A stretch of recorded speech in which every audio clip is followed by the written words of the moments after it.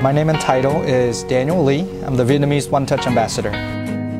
I've been with Toyota for four years now and loving every minute of it. The best thing about my job here at Toyota Dallas is to want to sell a good quality vehicle because it's a Toyota and we want to get customers into the right cars for the right pricing. My favorite vehicle model is the Toyota Camry. It's just a very well-rounded car. It's suitable for all ages and it has all the updated technology to keep up with everything that's going on right now. Toyota Dallas is extremely aggressive in pricing with truly exceptional customer service. We just want to have a chance to earn everyone's business right now. The best moment here at Toyota Dallas for me has been to be able to help an immigrant that's a first-time car buyer with low credit be able to get into a brand new car to help take care of his family.